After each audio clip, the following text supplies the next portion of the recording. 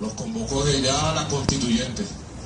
Yo quiero que voceros y líderes, productores del campo, sean próximos diputados y diputadas constituyentes. ¿Me van a acompañar? ¿Me van a apoyar en la constituyente? ¿O ustedes quieren guarimba? ¿Ustedes quieren violencia? ¿Ustedes quieren quema? ¿Ustedes quieren muerte? Los que queremos paz y vida, vamos a la constituyente. Así es, constituyente económica.